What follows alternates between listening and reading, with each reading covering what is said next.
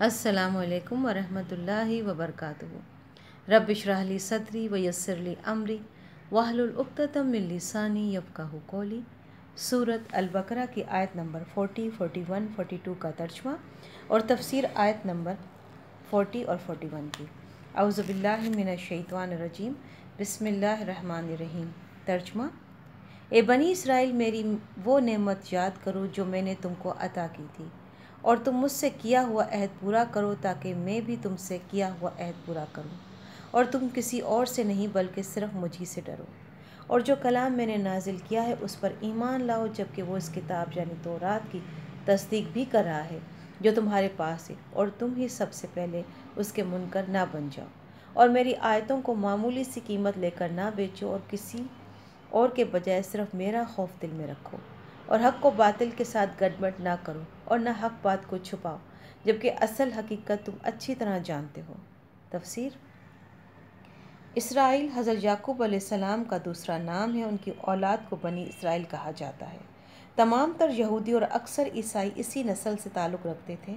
مدینہ منورہ میں یہودیوں کی اچھی خاصی تعداد آباد تھی اور رسول اکرم صلی اللہ علیہ وآلہ وسلم نے اللہم صلی اللہ محمد نے مدینہ منورہ پہنچنے کے بعد نہ صرف ان کو اسلام کی دعوت دی تھی، بلکہ ان سے امن کا معاہدہ بھی فرمایا تھا۔ لہذا اس مدنی صورت میں زیر نظر آیت سے آیت 141 43 تک مسلسل بنی اسرائیل کا تذکرہ ہے۔ جس میں انہیں اسلام کی دعوت بھی دی گئی ہے اور ان کو نصیحت کرنے کے ساتھ ان کی بدعنوانیوں پر متنبع بھی کیا گیا ہے۔ شروع میں ان کو یاد دلایا گیا ہے کہ اللہ تعالیٰ نے ان پر کیسے کیسے انعامات فرمائے تھے۔ اس کا تقاضا یہ تھا کہ وہ اللہ تعالیٰ کے شکر گزار ہو کر اس عہد کو پورا کرتے، جو اللہ تعالیٰ نے ان سے لیا تھا، کہ وہ تورات پر ٹھیک ٹھیک عمل کریں گے اور اللہ کے بھیجے ہوئے ہر نبی پر ایمان لائیں گے۔ لیکن انہوں نے تورات پر تورات پر عمل کرنے کے بجائے اس کی من مانی تعویلیں شروع کر دیں اور اس کے احکام کو بدل ڈالا۔ چونکہ اس طرز عمل کی ایک وجہ یہ بھی تھی کہ حق کو قبول کرنے کی صورت میں انہیں اپنے ہم مذہب لوگوں کا ڈر تھا کہ کہیں وہ ان سے بدزن نہ ہو جائیں۔ اس لیے ان دو آیتوں کے آخر میں فرمایا گیا ہے کہ مخلوق سے ڈرنے کے بجائے انہیں اللہ سے ڈرنا چاہیے اور اللہ کے سوا کسی کا خوف دل میں نہیں رکھنا چاہیے۔ بنی اسرائیل کو یاد دلایا جا رہا ہے کہ قرآن کریم وہی دعوت لے کر آیا ہے جو تورات اور انجیل کی دعوت تھی اور جن آسمانی کتابوں پر وہ ایمان رکھتے ہیں، قرآن کریم انہیں جھٹلانے کے بجائے دو طرح سے ان کی تصدیق کرتا ہے۔ ایک اس لحاظ سے کہ وہ یہ تسلیم کرتا ہے کہ یہ کتابیں اللہ ہی کی نازل کی ہوئی تھیں۔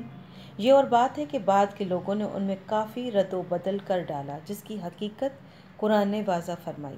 اور دوسرے قرآن اس حیثیت سے ان کتابوں کی تصدیق کرتا ہے کہ ان کتابوں میں آخری نبی کی تشریف آوری کی جو پیشن گویاں کی گئی تھیں، قرآن کریم نے انہیں سچا کر دکھایا۔